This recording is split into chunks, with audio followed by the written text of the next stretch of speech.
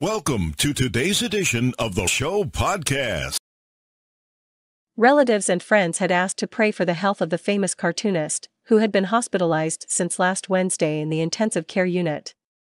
Edwin Aguilar, a Salvadoran cartoonist who has drawn The Simpsons for more than 20 years, died this Saturday of a brain clot, his family members and friends have confirmed. According to sources close to the artist, Edwin stayed for a few days in the hospital in Los Angeles, in the intensive care area, after suffering a stroke.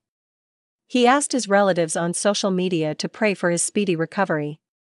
For more than two decades, this talented Salvadoran was responsible for drawing the characters Homero, Bart, Lisa, Marge, and Maggie from the series The Simpsons, a production in which he worked as an assistant director. Edwin is originally from San Miguel, in the 80s, he immigrated to the United States, where he lived from the age of nine. EDH image slash archive.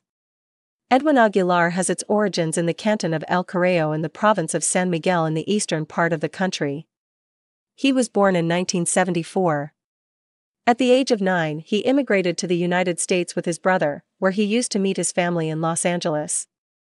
In an interview with El Diario de Hoy, Edwin commented that he left El Salvador in order not to be recruited by militia or armed forces during the armed conflict. His life changed far from El Salvador. Thanks to a scholarship to study illustration at the Art Center of Design in Pasadena, California, and animation at the Bridges Visual Institute in Santa Monica. He started animation for Graz Entertainment when they produced Transformers and G.I. Joe, then created episodes for Hanna-Barbera with Pebbles and Bam Bam, then searched for work with author Chuck Jones, from the cartoons. Animated shorts such as Merrie Melodies and cartoon characters such as Looney Tunes by Warner Brothers.